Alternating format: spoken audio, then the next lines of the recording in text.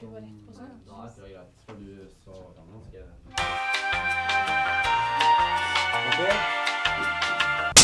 Du skal gjøre overnight challenge. Vet Ja. du hva det er? Skal jeg late som at jeg veit det nå, eller skal jeg ikke la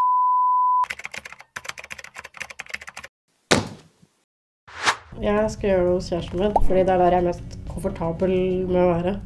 Jeg satser bare på å kunne komme meg inn når de ikke er hjemme, og så bare gå et sted der de vanligvis ikke er.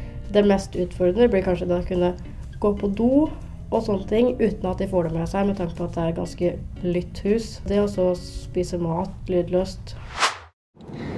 Nå er klokka sånn rundt halv fem, så det har begynt å bli mørkt. Noe jeg har tenkt å gjøre strategisk, så han ikke ser at jeg kommer inn. Så jeg skal nå parkere bilen litt unna huset hans, så skal jeg gå inn. Jeg gruer meg egentlig veldig mye, fordi jeg vet at det er ikke bare han som er hjemme. Og han har hunder, som jeg vet at kan avsløre meg. Og så merker jeg at jeg må tisse allerede. Eh, Jeg har med meg eh, mellombarer, soyasjokolademelk. Så jeg har med en bok. Altså, jeg må ha telefonlader og en PC, så jeg har noe jeg kan drive med.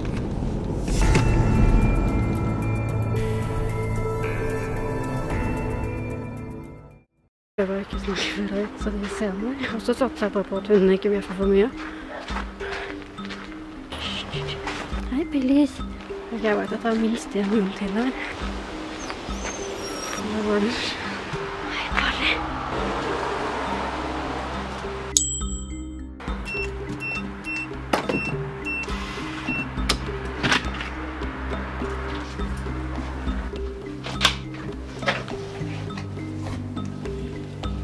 Polly.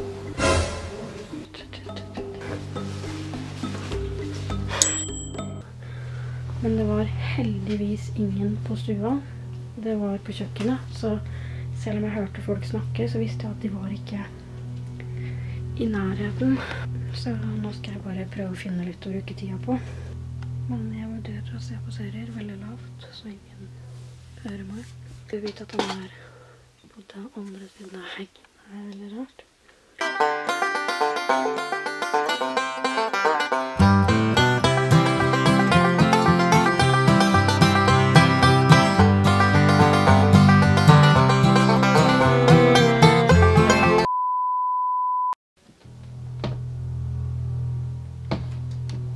Mama?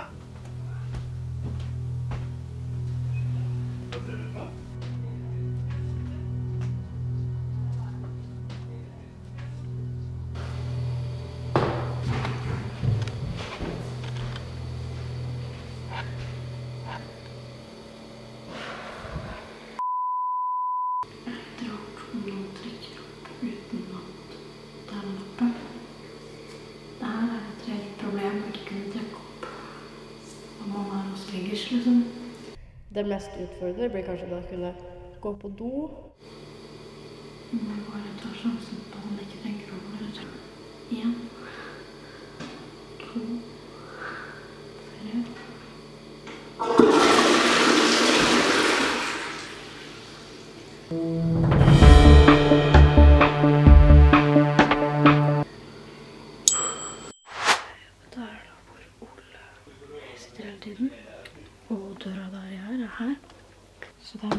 veldig kort imellom.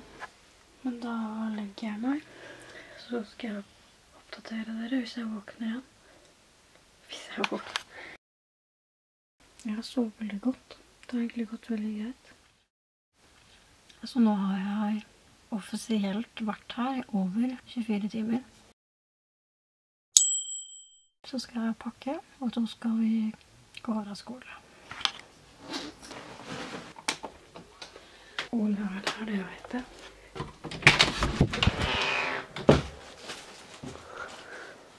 Hei. Hei. Jeg har vært her et døgn. Uh... Ok, Så greia er at jeg har hatt en overnight challenge.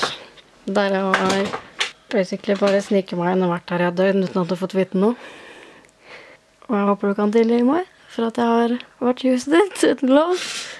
Uh... det er litt creepy, da. Ble du egentlig ferska? nei, jeg ble ikke det. Ble ikke ferska? Nei.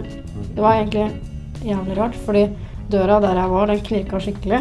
Jeg Ti sekunder på hva du forventer av 2019. Gå. Jeg forventer at det blir et bra år, at jeg klarer å få orden på livet mitt og bli mer voksen.